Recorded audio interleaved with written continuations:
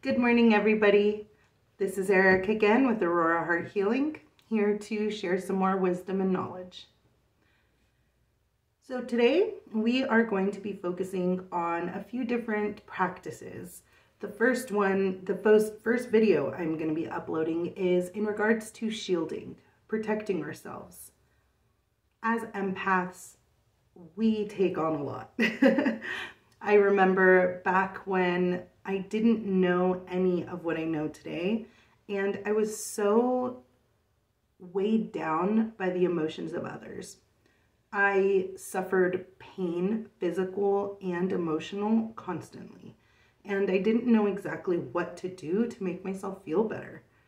As I continued to grow in my craft, I started learning different techniques that really helped me know how to take care of myself and shield myself from the emotions of others.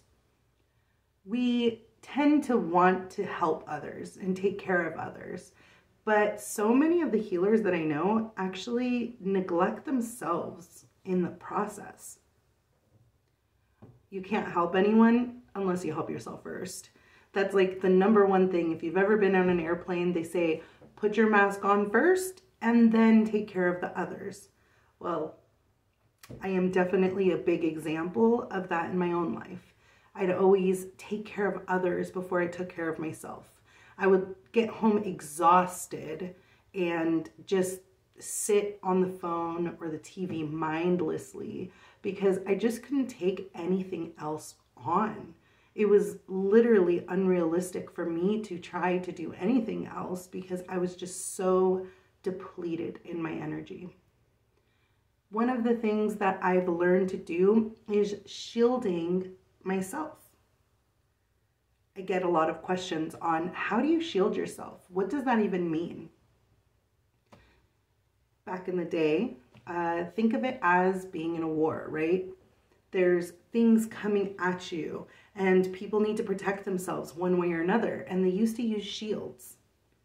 Well, I think of mine as a superhero suit that I get to put on. I know it sounds funny and cheesy, but that's okay. Nothing is, everything has to do with how you want it to be.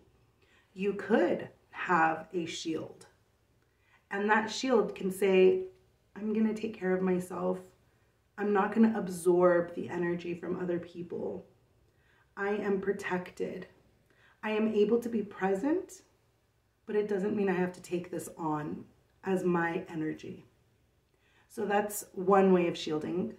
You can close your eyes and get yourself into a meditative state where you are in deep meditation and you're just visualizing yourself being surrounded by white or golden light. And in that, you want to set your intention. What is it that you're intending?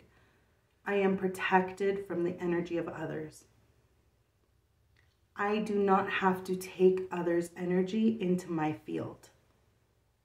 Why is this so important? Well, imagine yourself carrying a backpack up a really, really steep hill. And you're walking and you're carrying it, and you have some friends along. And at some point, your friend turns to you and says, Hey, um, I'm really tired. Will you carry my backpack for me? And you say, okay, I'm really tired too. This is a really long hike, but I guess I'll take care of it. Yeah, sure. So you put the second backpack on, which means you have double the weight. And you're continuing up this hill and you're very much so getting more exhausted, more tired, more depleted in your energy field. So you keep going up this hill and you're just chugging along, really pushing yourself. And you look at your friend that has now left you behind. And you're just kind of looking forward and being like, oh my God, they're so much, they're leaving me behind. Then another friend comes by and they say, oh, you're carrying that bag? Will you carry mine too? And maybe because of weak boundaries, we say, sure, I'll do that for you. I'm already carrying this from someone else too. I'll do it for you too. So now you have the weight of three backpacks for a whole day's supply or a week's supply on your own back. And you are constantly carrying and you're struggling now.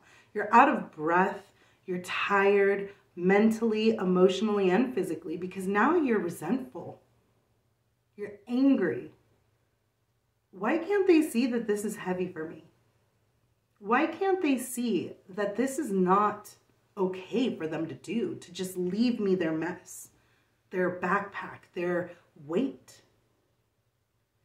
As we continue to go, you're just more and more tired. We can see what the pattern leads to, right? Burnout, stress, anxiety, bitterness. This is why shielding is so important. Because we do not want to be that bitter old person saying, I always did everything for everybody else and no one ever did anything for me. I don't want to be that, at least. And I hope that this today helps you really let go of the backpacks, let go of the extra weight that you might be carrying for other people. So, the way that I do my shielding is I do put a superhero suit on. And I think it's fun because I actually really love superheroes. Like, if anyone knows me, Marvel, um, DC, I'm all on it. so, what I do is I think about it mentally. I set the intention a long time ago, but sometimes I still need to get a little bit of that, hey, I gotta remember to put on my suit and take it off. And what I'm doing in my suit is that it protects me. It's not the whatever I say bounces off of me and sticks to you saying. It's more of I give back what I am given with love and light. So if someone's trying to put their energy on me, I say, I'm sorry, this is not mine. I can only carry what is mine. I laid that down. Some people do not like that, and that's okay. It takes time to get used to change, and change will happen when you see this. Some people will be really upset at the fact that you've always carried their backpacks before, and out of nowhere now you're not doing that. So remember, keep that in mind that as you start to protect yourself, as you start to evolve and change and grow, there will be certain things that or people that will resist your changes and really be upset with you as you grow. And again, is that your backpack to carry? Is that something that you're supposed to be burdened with? So take that in mind. So as I said, my shield my superhero suit. I put on mostly when I'm with clients, not because I want to say, oh, I just can't, I'm cutting myself off. That's not what it is. It is what is mine is okay to have as mine. What is yours is okay to have as yours. We want to be whole beings. So we don't want anyone to have to take our stuff or we don't want to give all of our stuff away. So put your superhero suit on. Whatever your intention for that superhero suit. Maybe it's, I don't want to absorb other people's energies. So you say, this suit helps me prevent absorbing energy from others. This superhero prevents me from having to carry the backpacks of others. This superhero suit gives me strength, the will to continue to move forward. And when I am at home, when I'm safe, when I don't have to worry about so many energies, I can just take it off. And that's okay. It's important for us to know where our boundaries lie. You can say, this is mine and that is yours. I do have another video on that one, although looking back at it, I will need to redo that one again soon. But you say, this is mine, because you are claiming your energy.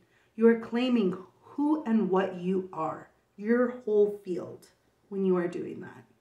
This is mine. You can say it with conviction because you know what is yours. And if you do not, then it'll help you clearly define what is yours.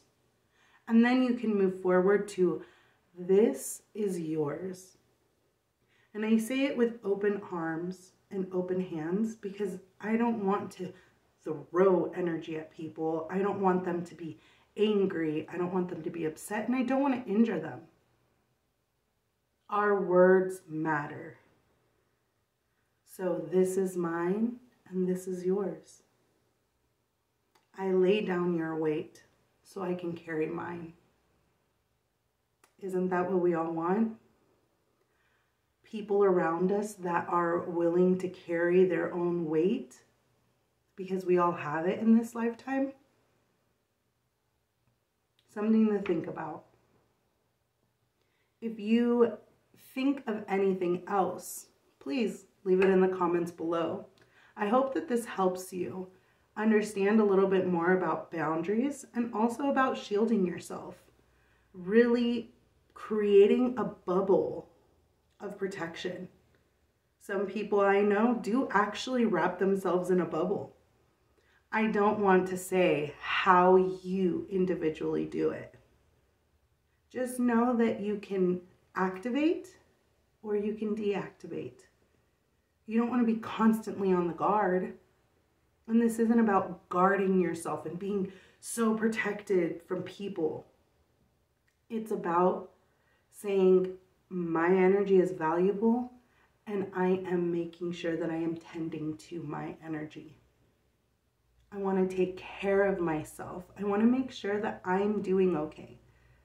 And carrying three, four, ten backpacks is not taking care of ourselves.